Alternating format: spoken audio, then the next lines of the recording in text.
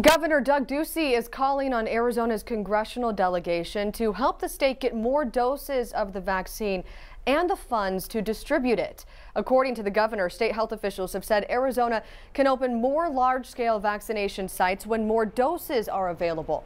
The state recently requested an additional 300,000 doses a week, but that request was denied.